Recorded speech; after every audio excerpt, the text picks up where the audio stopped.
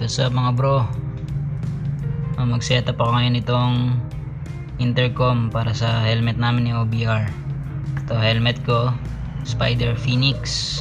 Tapos yung kanya, LS2 Rapid. So, ito yung intercom, VNet phone, V6. So, ito, dalawang klase ito. Meron to nung isa na mas mahal ng konti dito. Mas maganda yung range nun, mas malayo, tsaka mas maganda yung audio quality. Mapakita ko muna yung laman ito.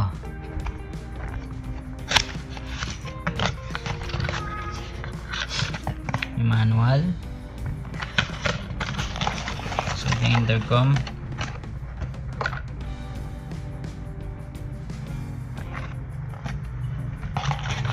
Yung accessories niya.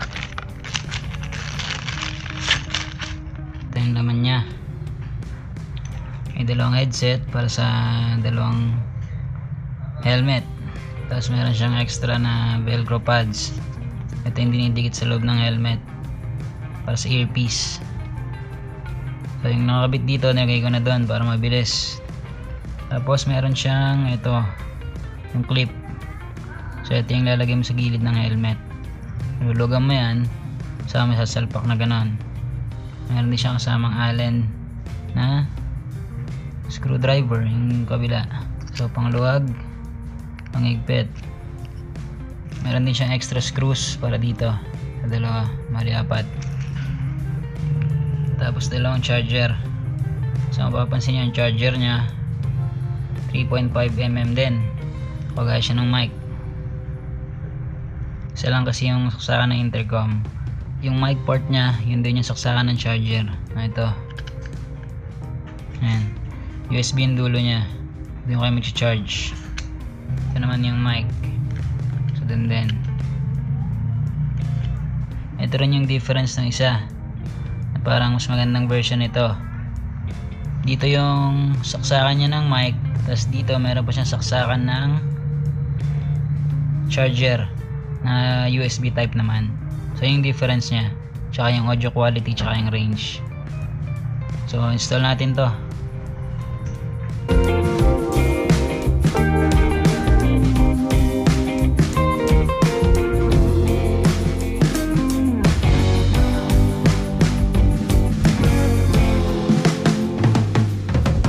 Alright, so na-setup ko na sa dalawang helmet. Ngayon, i-prepare naman natin yung intercom. Nabasa ko na yung manual nito. Binasa ko lahat para kabisado ko na. Ngayon, gagamitin ko to sa intercom lang namin. Sa dalawa lang kami. I-pair natin tong dalawang to para magkarinigan sila. Press nyo tong rider button ito. Itong mayroong parang rider. Ng 2 seconds para mag-on.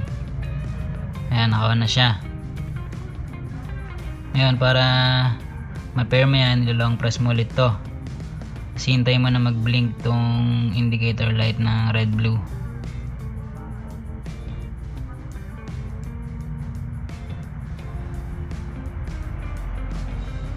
Ayan, ibig sabihin niya nagsisearch sila. Para mapag-connect mo, pindutin mo ulit ito ng isang beses o kahit alin sa dalawa. Pindutin natin to. So yan, nagpe-pair na siya dun sa kabila.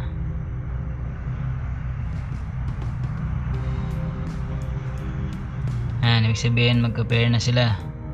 Yan, kailangan mag-save ngayon yung settings na yan. O ngayon, para ma-save, pindutin mo ulit ito ng isa. Yan, save na yan. Okay na yung dalawang yan, magka-pair na. Ngayon, paano kung meron kayong kasama na ibang riders? Uh, naka-intercom din. So, pwede mong i-connect to. Gagawin mo, same process. Pero ang pipindutin mo naman, either itong B, C, D, E. So, yan yung pwede mong i-pair ng mga ibang intercom. Same process lang din ang pag-pair. Gaya ng ginawa natin. Ngayon, nabawa, naka-pair na yon ng ibang riders. Ang mangyayari niyan, hindi kayo pwede mag-usap ng sabay-sabay. Para makausap mo yung isa sa kanila, pipindutin mo lang kung alin dito. Parang ba pinindot mo to? Yun yung pwede mong kausapin. So hindi siya pwedeng sabay-sabay. Ito parang siya yung A main device. So ito yung kapares niya. So ang ibang yan kung meron kayong mga kasama pwede mo dyan i-connect. Pipindutin mo lang kung sino yung gusto mong kausapin. Yan turo ko na rin yung mga buttons nito. So ito yung on button itong rider tapos volume up volume down. So ito yung call button so ito ginagamit to pag nakakonect ka sa phone via bluetooth. So pakita mamaya. Ito yung off. So itong BCDE yan nga dyan mo pwede connect yung ibang riders. Bukod sa dalawa. Alright so connect naman natin yung intercom sa phone via bluetooth. O para makareceive kayo ng calls.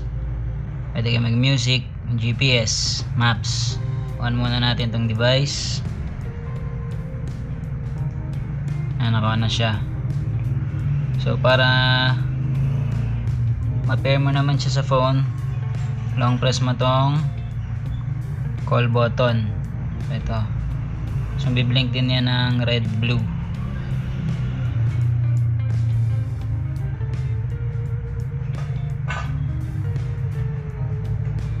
Ayan, nag-search na yan. Ngayon, on natin yung bluetooth nito. Tapos, hanapin yung V6. Ayan. Kukonect na automatic kasi na pair ko na to eh. Connecting na siya. Ayan, connected na. Wala na yung blinking. Connected na siya. So, pwede ka na makareceive ng calls dito. Doon mo maririnig sa helmet mismo. Automatic siyang sumasagot pag hindi mo pinipindot. Ngayon, pwede ka rin mag-play ng music. Na-testingin natin yan. Kabit ko to dun sa helmet. Tapos play natin ng music dito. Tingnan natin kung tutunog. Pizza speakers nito. Mali ko muna yung phone. Yung dito.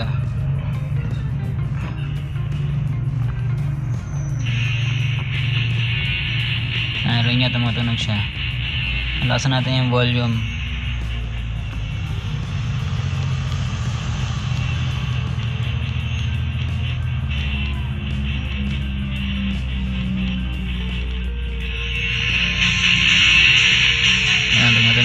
Sa loob. Pause, pag gusto mo i-pause, ito rin, pindutin mo lang to. Pause na yan. Ah, automatic. Nag-pause na rin siya dito sa phone. Pause na. Pindutin natin to. Para mag-play ulit.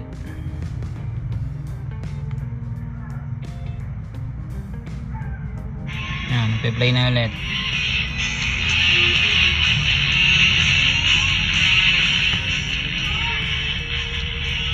So yan, pero hindi naman advisable na nagma-music eh kapag nagmamotor. So, okay to sa calls sa sa GPS. O sa Google Maps. Yan naman,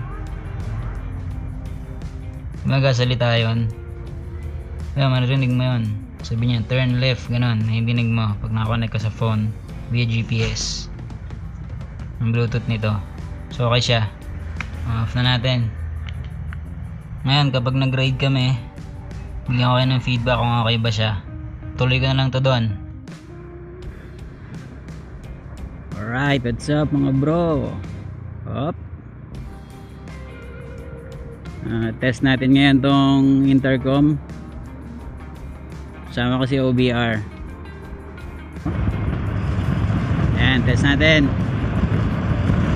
Taas ng hangin, no? Dinig pa rin kita. Mahina pa yung volume nito. Pwede mo pang lakasan. ah, takbo natin 80. 80 plus. Malinaw pa rin siya. Maganda yung quality nitong intercom na to. Ilang araw pa lang din to. Bira pa lang na yung magamit. Hindi ko pa ulit na charge. Pero battery life naman ito based dun sa manual ano 12 hours yung talking time. Tapos kung maiwan mo siya yung idle time nya mahaba din.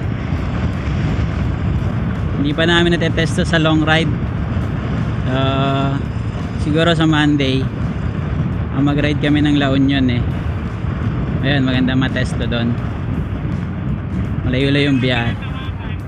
Tapusin ko na siguro yung vlog dito matetest namin to pag nag long ride. Bigay rin ako ng feedback